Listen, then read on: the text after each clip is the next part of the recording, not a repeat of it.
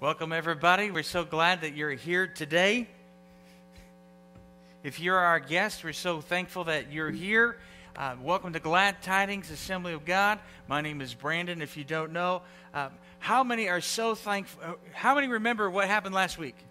What, what, what day was it? Easter. Easter. What do we celebrate on Easter? We celebrate Jesus rising from the dead. And uh, today we're going to talk about uh, introduction to hope. So we're going to be looking at hope today. And if you have your Bibles or your, or your YouVersion Bible app, if you could pull up Luke chapter 24. Luke chapter 24. And as you are uh, pulling that up, let me give you a little bit of context of, of the scripture. So, exactly one week before the events of Easter, Jesus and his disciples were ushered into the city of Jerusalem, the capital city of Israel, as they were as if they were conquering heroes. People were yelling and screaming, and it was a, an electric atmosphere, and people were cutting down palm branches, and they were laying uh, them uh, carpeting the way for the, the donkey that Jesus was riding on, and some people were taking off their coats and throwing them in front of the donkey. Just honoring him and saying, You are so awesome. And they were yelling and cheering, and it was an incredible, awesome event. The, the people there were just excited. They knew that something was about to happen that was amazing. The children were making up songs about Jesus, and it was just a fun, fun atmosphere. It was electric with anticipation that something great was going to happen. Then, if, in a few short days after that, Jesus was arrested at night in the Garden of Gethsemane. Jesus, the people who had followed him for three years, devoted their lives to, they, they now um, were running away, afraid that they too were going to be arrested. And then they watched Jesus, whom they had followed and had listened to, and had saw him do many miracles.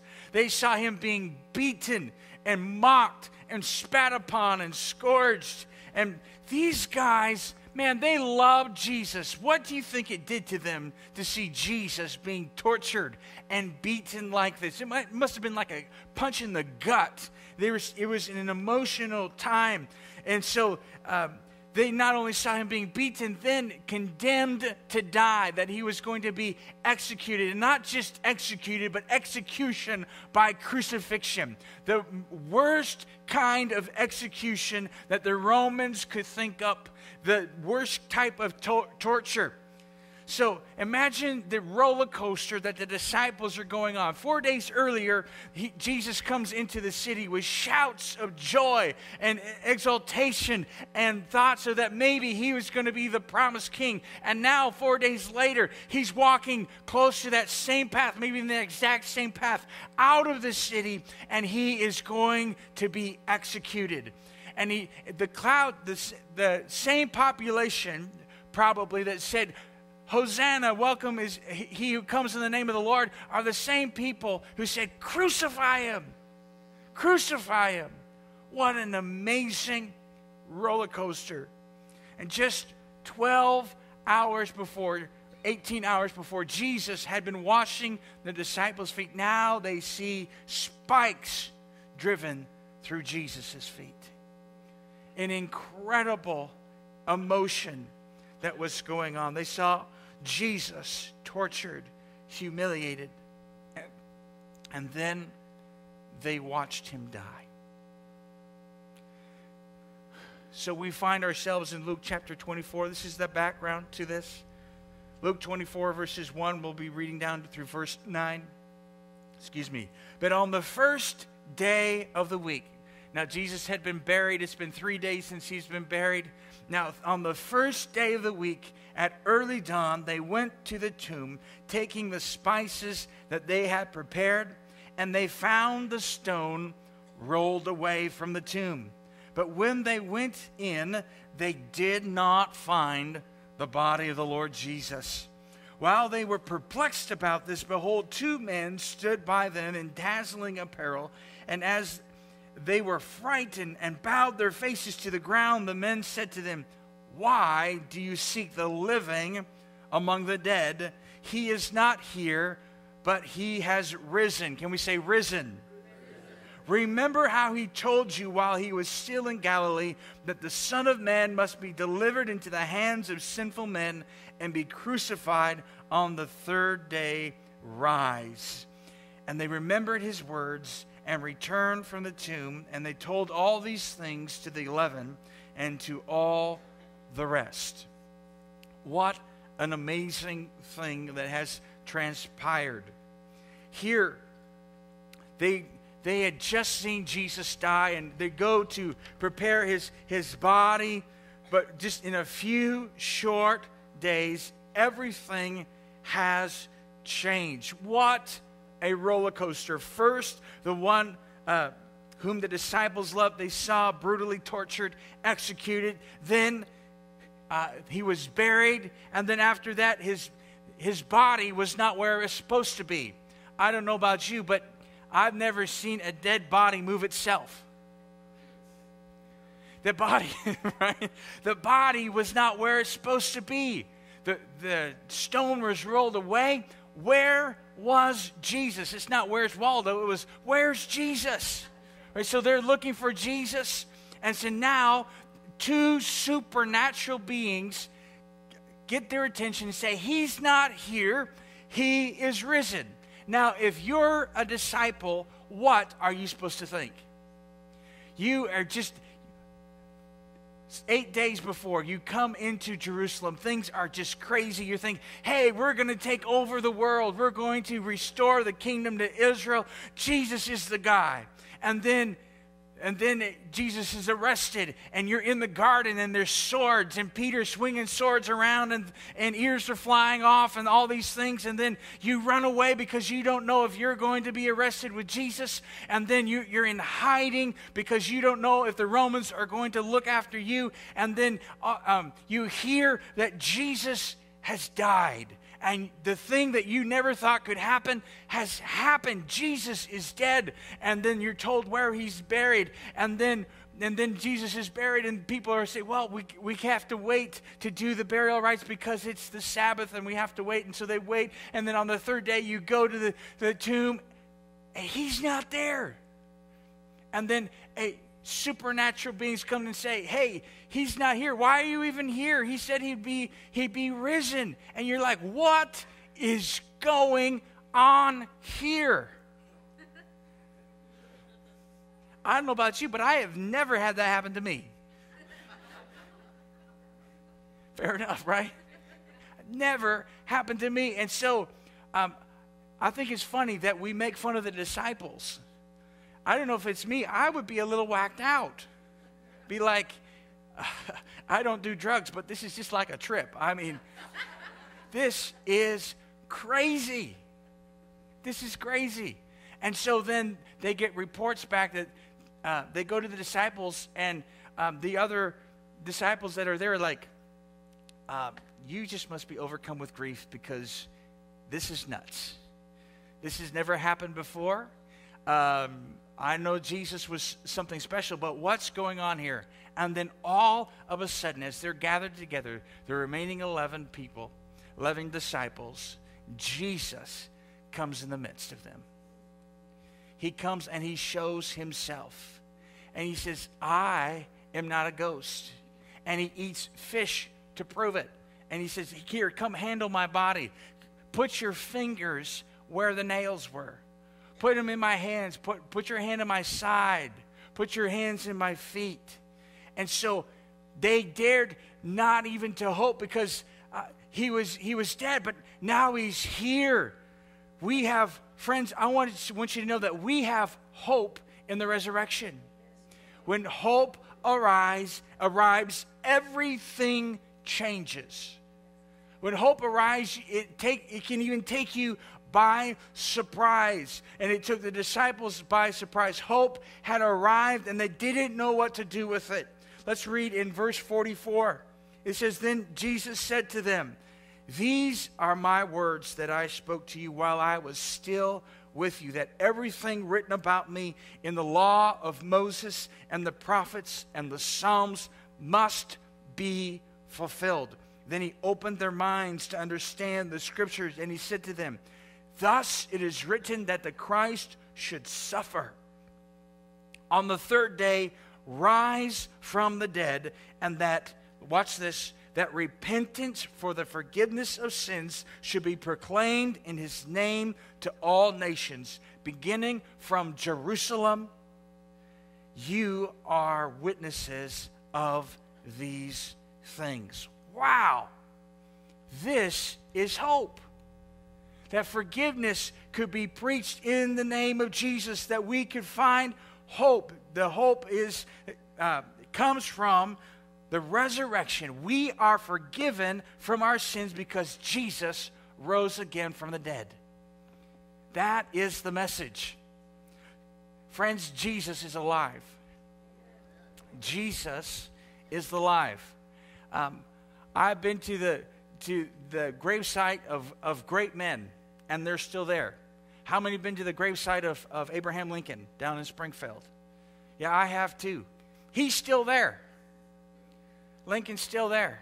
You know, uh, Buddha is still in his grave. Krishna is still there. Jesus is not in his grave.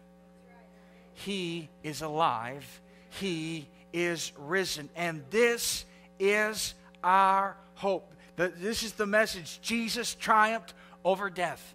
And friends, it's not a secret. It was not intended to be a secret. See, what Jesus does in our life, it is personal, it's not private. It's not to be kept a secret what Jesus does for us. It's a personal thing. What he does for us, it's not a secret. It's not private. This message was intended to be heard and understood by everyone who would listen. Man, I'm so glad that you listened and that you understood. I'm glad that Jesus changed your life. I'm glad that He did a work in your li- life like He did a work in my life. Jesus said to the disciples, This message of forgiveness is not to be kept in this room. This message is to go out to the whole world so that people can hear and be saved. How many of you heard the message of Jesus? Well, that should be everybody in the room. All right, because I'm giving it to you right now. All right. All right. So you've heard the message, and this is what Jesus intended for you to have was the message of his death, burial, and resurrection, and why he did it. Why did Jesus do it? He did it because I needed a savior. I couldn't get to heaven by myself. I need somebody, somebody who was perfect, who to die for me, and then prove that they were perfect by rising again. Guess what? Jesus did that pretty awesome thing. It is good news. It is a great message what Jesus has done for us, and other people need to hear what Jesus has done. So, when you find something great, when you find something amazing, we want to pass it along. Like my mom, when she would get a, an amazing recipe, man, she'd be like, hey, everybody, this is an amazing recipe. You need this. Or um, if there's a new restaurant in town, you, how many like good food? I love good food, as you can plainly see. When I go to a new restaurant, I don't say, hey, don't tell anybody because I just want this for me. No, we're like, hey, this new place over here, they've got the amazing T-bone steak, or they've got the amazing chop suey, or whatever. They got amazing liver and onions for all of you who like liver and onions. But, but whatever it is, we love to share the message. Uh, my wife and I, we lived uh, about a decade in, in Asia, in a developing country, and uh, not a lot of things were available uh, to us. There were some necessary things that we didn't always have access to. Some of um, were, were petrol or gas for our car, or sometimes we didn't have propane for cooking. And uh, other times we, uh, we didn't have Dr. Pepper or Hershey's bar, you know, the real important things. So whenever we, whenever these things would come into the country, we, we would see them and we'd call up our friends and say, Hey, Dr. Pepper is available at this store right here. You need to come and get it before it's all gone. And if we really like the person, we say, hey, can I pick you up some? Right? If we didn't like them, we say, hey, if they're here, they're here. You know, fend for yourself. But if they were there, we would, we would be super excited and we'd get on the telephone and say, hey, got to get to Monandars because Monandars has Dr. Pepper. Now I can't, I can't vouch for how many I'm going to take. I don't know if I'm going to leave any, but you better get here soon. When something good happens, we want to pass it along. When something important, something amazing that we find, we want other people to know about it. Guess what? There's nothing greater than the message of Jesus. It is something worth passing along. No matter what people think about Jesus or think about, about his story, what he's done for our lives, it's hard to be, be quiet about, to be secret about. If Jesus has uh, saved us from our sins, it's hard to be quiet about that. If Jesus has saved our marriage, it's hard to be quiet about that. If Jesus has saved us from drugs or alcohol or overeating or whatever it is, it's hard to be quiet about it because Jesus is good news. Jesus is great news. Friends, I'm just so excited because there is nobody like Jesus. There's nobody who heals like Jesus. There's nobody who feels the need in our hearts like Jesus. Jesus is amazing, and we need to pass it along. Jesus had a disciple named Andrew. Andrew had an amazing knack for bringing people to Jesus. He was so good at it, history nicknamed him Andrew the Bringer. He just would bring people to Jesus. It was awesome. And uh, Andrew had an experience with Jesus. So before you can give something, what do you have to do? You have to receive it. You have to have it before you can give it. If you don't have it before you give it, that's called stealing. Don't do that. You have to have it before you give it. So if you want to give hope, you have to have hope before you give it. You have to have an encounter with hope. You have to have a healing from hope before you can give hope. Friends, I want to just personally tell you that I have found personal hope in Jesus Christ. He has changed my world around. I am not the same person. I would not be the same person without Jesus. Jesus gives hope. So before you give hope, you have to receive hope. And then you become somebody who has hope. The, the hopeful one, if you're taking notes, has encountered Jesus. The hopeful one has encountered Jesus. John 135 says the next day again John was standing John the Baptist was standing with two of his disciples and he looked at Jesus as he walked by and said, Behold the Lamb of God.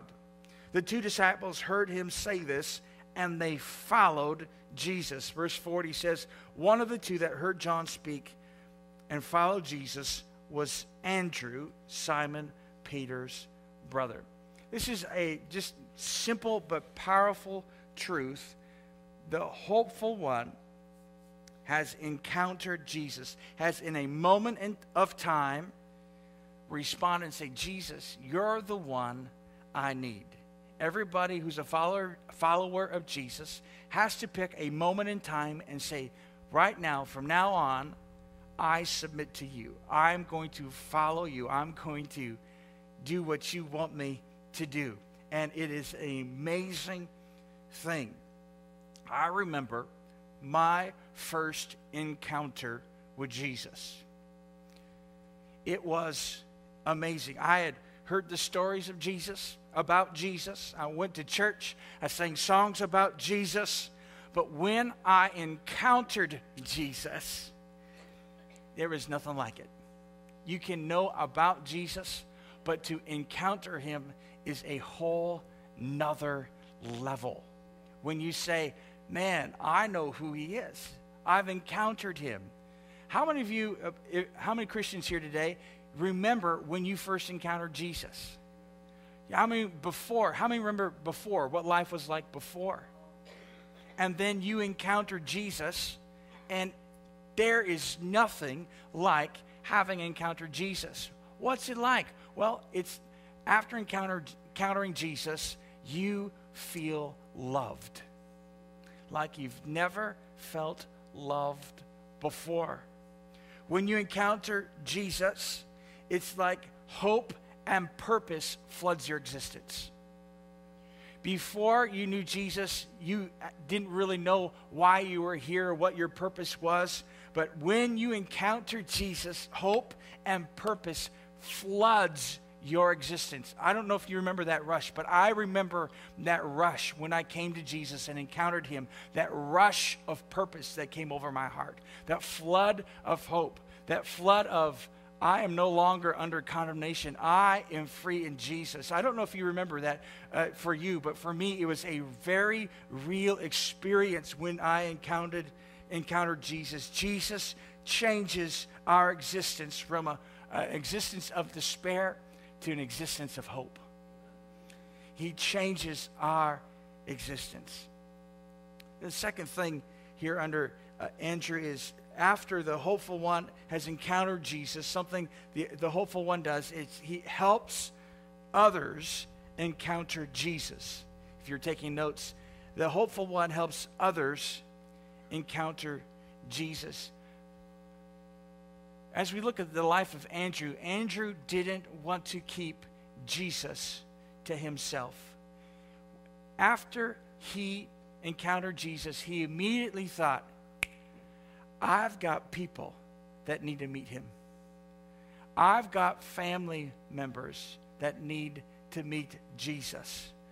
So the hopeful one helps their family encounter Jesus. And John 141 says, Andrew first found his own brother, Simon, and said to him, We have found the Messiah, which means Christ. And he, Andrew, brought Peter, Simon Peter, to Jesus. When we experience something, the ones that we love the most, they're the first ones we think about. Hey, I need to take uh, my brother to the steakhouse because it's an amazing place. Hey, I need to. I need to take my brother to this place because they just treat you so well. Hey, I need to introduce my brother to Jesus because there is hope. If he if my brother encounters Jesus like I've encountered Jesus, it is totally worth the worth the, the hazing, the razzing he's going to give me when when I say he needs to go there. I don't know if you have any, any of you have older siblings, but I've got an older brother and an older sister, and I've got my full of it. You know. Um, pretty an amazing thing. I, I wouldn't be the person I am without my older brother. I'd be about th- three inches taller, and I'd, I'd have wouldn't have broken bones. And no, just kidding. I love you, Chad, if you're watching. Um, I, I, wouldn't be I wouldn't be the same person. I I'm I am better because of my family, and because of my because of that, I want my family to encounter hope. I want my family to encounter Jesus. And so this is what Andrew did. He brings his brother to Jesus. Now, his brother exceeds uh, um, Andrew in following Jesus. Peter becomes part of the inner circle. But he, Peter would have, we would have never known Peter had not Andrew brought him to Jesus. Peter needed somebody to bring him to Jesus. We all need somebody to bring us to Jesus. Now, sometimes the hardest people to tell about Jesus, to bring them to Jesus, are those we love the deepest. Because they know us better than they think we know ourselves. They say, well, how can you follow Jesus? I know what you did in 1985. You know, how can, how can you call yourself a Christian? I know what you said last week. How can you? And so sometimes the toughest people to bring to Christ is our family. But even though it's tough, it's worthwhile because we want our family to have an encounter with Jesus like we've encountered Jesus. Secondly, uh, Andrew brings those close to him, close in proximity to Jesus. So he, we got to his family that it brings to Jesus, and then those close to you. The, and so it says in John chapter 6, verse 8, it says, One of his disciples, Andrew, Simon Peter's brother, said to him, There's a boy here who has five barley loaves and two fishes, and he brings the little boy to Jesus. How many remember the, the Sunday school story of Jesus feeding the 5,000? Yep, there's a little boy who brings his lunch to Jesus. Well, that story would have never happened without Andrew, because Andrew found the lunch.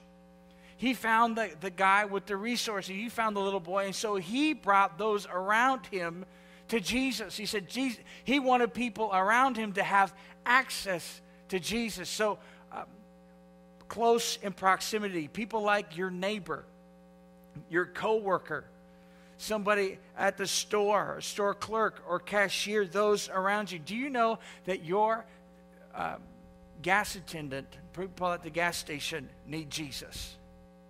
Right, Lindsay? Right, Lindsay? people at the grocery store need Jesus. People that you work next to need Jesus. People all over this town need an encounter with Jesus. What would this town be like if people encountered Jesus and then acted like it?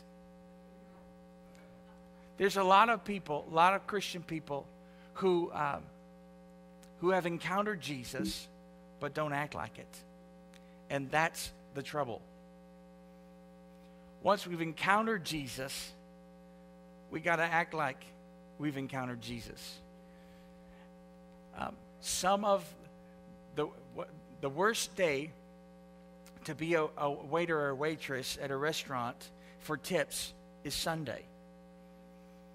Because Christians aren't very good tippers. And we've got a waitress in the audience. I don't know why that is, but Christians are horrible tippers. I wish that was true.